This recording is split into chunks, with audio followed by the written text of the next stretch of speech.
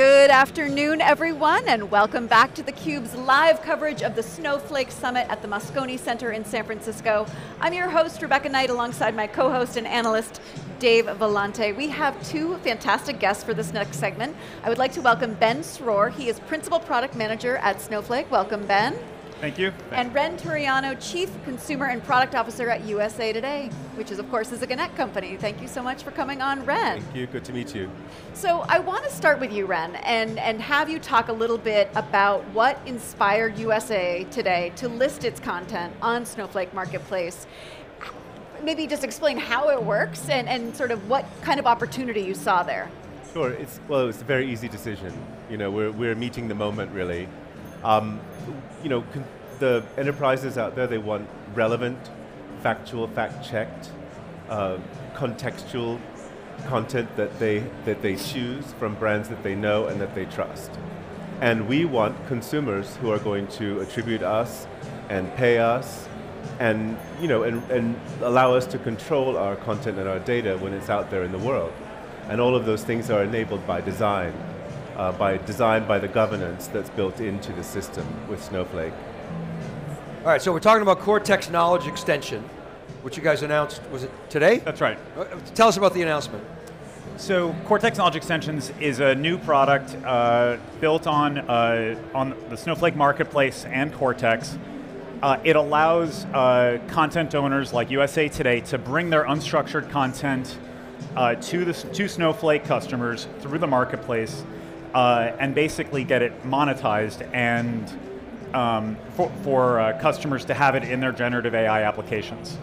Uh, the key value proposition for providers like USA Today is really three things. One is protection of content, and that's isolation. You know, what you don't want to have is to be able to have the, all the what we call the raw articles, the raw content to be exposed to customers because all these content owners, their value is their content. You don't want to be able to just do like select star from USA Today articles and get all the content for the last hundred years and then steal it and then use it for model training. So with Cortex Knowledge Extensions, we protect it and isolate it, and so customers can only ever see a small slice of the content just for what they need. So isolation is built in to the product. Uh, the second is attribution. We use a retrieval augmented generation RAG architecture um, that allows, that basically facilitates attribution to be a part of the solution.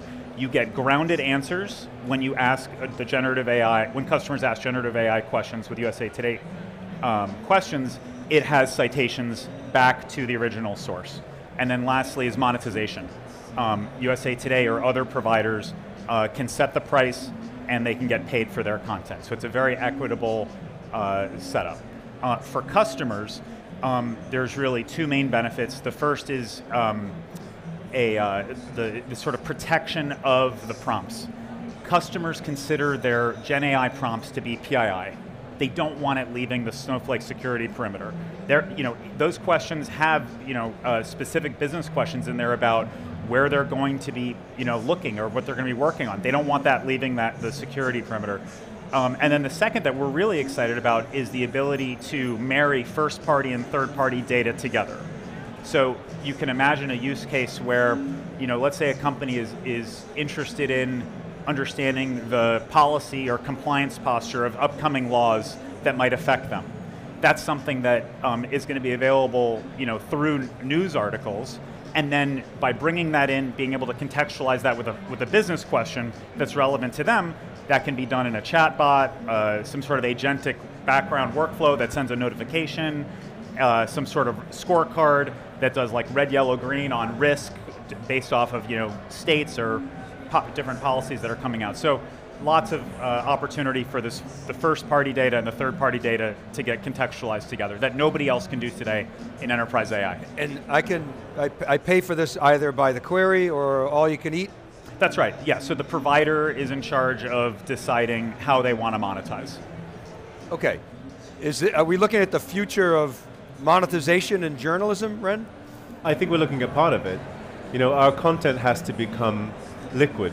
You know, it has to go out and meet the use cases, it has to go and meet consumers where they are and solve the problems that they have in that moment. We, on our domains, we solve their problems every day. We do that with long and short form content, with video content, but they come to us to find it, and we want them to continue to do that. But we also want to go out and find them where they are, and I think that this, this platform really enables that for us. And a really key tenet of the platform is that the, the enterprises choose, they choose the provider. So they already have a trust built in, they know what they're getting and they, and, and they, they choose that. And Ben, just to put a final, finer point on it, if I may, um, customers can or cannot train on they cannot. So they cannot. Yeah. so we we isolate the we isolate the content. So they only ever are able to get just a small set of snippets or chunks uh, that are sort of contextual to the the prompt or the question that was asked. They don't see you know all the all, all the articles from from the past. So and no derivative leakage. That's right. That's right, and we actually actively protect against it and um, basically uh, put blocks up to prevent that sort of scraping. Um, you know, we're, we're in a world today where um, you know anything that's on the internet, um, you know, has basically been scraped and incorporated into LLMs, which basically means that proprietary content gardens, paywalled content is all the more valuable, and so we need to protect it. I was just going to go back to what Dave was asking Renn, and about the, the, the, the, questions around content, licensing, and, and generative AI. And we know there are plenty of lawsuits going on with major news organizations, uh, New York Times versus OpenAI. What to you felt different about Snowflake's approach in the sense of why it, it, it why didn't why it appealed to USA Today? So so many things one, it's proactive and it's ex an explicit partnership where the providers are selecting us and we're being paid for our content. We also have control revocation. That's very important as well. It's also important for us for our content, it's important how it's used. When, it, when our content goes into just a large LLM training set, we have no idea how it's used. We have no idea what kind of context is put around it when it's used. What was true yesterday was true yesterday when we reported it. Today, the story will have changed, you know, from journalism. The story could have changed. We, we, it's very important that there's continuity of understanding of the story and that the fact-based story that we're putting forward stays continuous and true throughout, you know, throughout its life cycle. And the large-scale LLMs don't provide for that. Even general RAG, you know, kind of ordinary RAG doesn't provide for that the way that, the way that Snowflake does the consumer puts their, the, the enterprise puts their context around it, and the system helps them to realize and to maintain that context. And then they use just the information that they need in order to be able to answer the queries that they have. It's perfect. I was, you know, I, I like the use case that, you know, that was presented today, and I thought, oh, I'll, I'll ask, you know, ChatGPT for more use cases, and then I thought, I don't have to. So many came so immediately to mind for me you know, a company wants to find a city to build a factory in, where should they build their factory? And they don't want everyone else to know that they're looking for a city to build their factory, but they can learn about the, all, you know, they can, they can check what's happening in all the regions across the country to learn, you know, where the best place is to position their factory along all kinds of dimensions. Just that one use case, and they, and they abound, dozens of them. This is the work people are doing anyway reading the news, uh, but it's structured for them and protected for us. This idea of liquid content is very compelling. You know, one of the problems with reporting is sometimes the story gets out there and, and, and it's wrong. I mean, at least there's major aspects of it. Like Deflategate. you know? But, and the story changes, but then it, it never gets corrected in the public's mind, it gets fossilized. Will Sorry, but people are very interested in the first story and less interested in the correction. Yes, and so will this yeah. address that? And maybe it's not a problem for well, what would selling. you if, if there was a story that had uh, that was false or became untrue over time, meaning that it was true when it was reported, and then new information came to the fore and it was shown to be not not true or different, then what what the consumer would get here would be the latest, right? The refined point of view not, not something that they were able to fetch from some point in history outside of context. Yes, and it's very easy to fact check uh, that with, when you have liquid content and say, well, actually, you know, because the fact checker, fact checking in real time is hard. Yeah. yeah. No, I know, and I'm, I'm really interested because what you're talking about with with this, this idea of trust too, because this, this, it keeps coming back to me, and, and you said this is content that people trust, that they value, that they know is correct, and especially since if, if, even if the story has moved on or the story has changed, they know they are getting the truth in that moment. And yet, we're living in this time where there, those are, there's a lot of swirling questions around what is the truth. And so how do you think about that question, Ben, in terms of in terms of what enterprises are looking for, in terms of how they are going about using news sources to ask questions that are related to their business strategy. As you said, where do where should I build the next factory? Where, which markets would be most interested in my products? Yeah, we're we're hearing from lots of different customers about their desire for news in particular and, and other types of content sources. But you know, we're looking at uh, customers wanting to do market research, prospecting, um, thinking about uh, you know where to uh, for training purposes, um, trends, trends analysis, um, you know law, you know regulation. There's all sorts of different vectors that uh, news content, can, you know, uh, you know, contemporaneous content is valuable, and uh, you know our, our customers are you know very, very uh, thoughtful and, in how they apply technology, and so this is just going to continue to open up horizons for them. How did this come about? Whose idea was this? How was it? How did it germinate? Oh well, we have um, you know we have a crack team uh, of uh, business development people who are creating relationships you know uh, with with different entities all around, and a relationship was created with with Snowflake, and we took quick advantage of it. So, what were your concerns going in? Right away, I was concerned about the control and protection of our intellectual property, um, compensation, of course. I was concerned about the um, attribution. It's, you know, if we were white labeled, which is still a business, you know, but if we were only white labeled, then uh, it's a virtuous cycle that would eventually die out. It wouldn't feed itself. We, we, we need to be able to be attributed so that the brand keeps building so that more customers want to, you know, want to consume our content so that more of, of Snowflake's customers want to consume our content.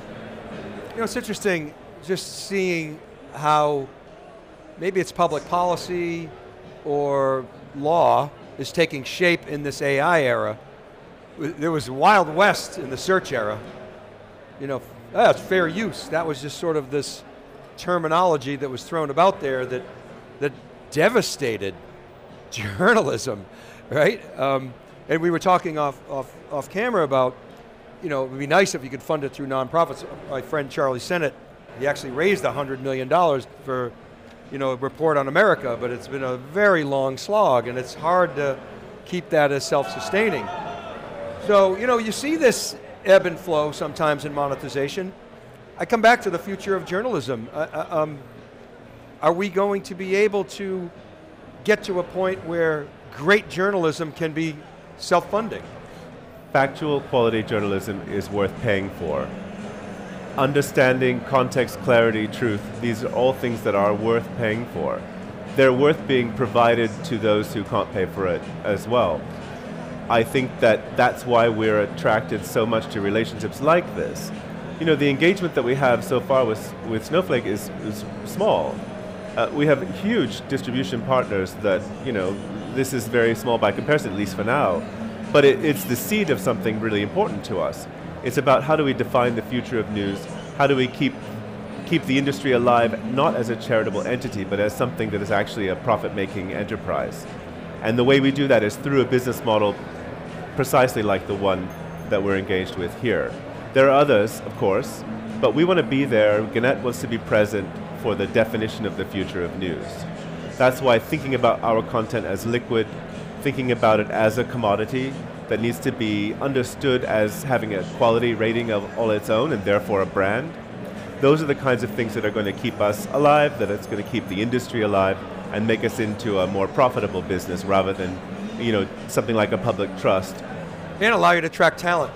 Sorry? And, allow you to track oh, talent. Oh, yes, of that course. can really be proud of the brand. Yes we, we attract amazing talent already, actually. Uh, I was actually surprised when I came to work for Gannett how, how committed everyone is and how, how, you know, how much, uh, the quality, the level, the caliber of talent we attract. Uh, but absolutely, we want to be able to keep that going. And we want human talent too, because especially as a lot of newsrooms are really going in on all, going all in on AI, we need the humans who are there doing doing the, the shoe leather reporting. Yeah. The AI cannot do what the human reporters can do. Maybe it can help, it can lay things out, it can be a brilliant assistant, it can pick up the more repetitive tasks that will free the journalist to do more meaningful work. But it isn't able at this point, you know, uh, it's nowhere near being able to replace a human as a journalist. Do you worry that will change? It's who knows what you know. Really, it's impossible to predict the future. I doubt that will change simply by the nature of lo- large language models.